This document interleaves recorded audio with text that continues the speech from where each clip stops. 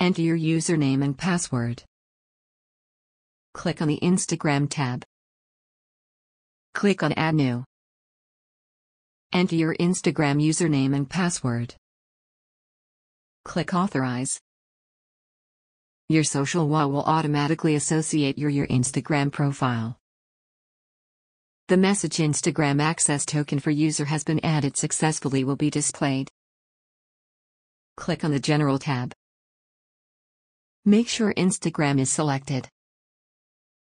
Click on the User tab. Copy the URL of your social wall and open it in a new browser tab. Your Instagram posts will be displayed on the social wall.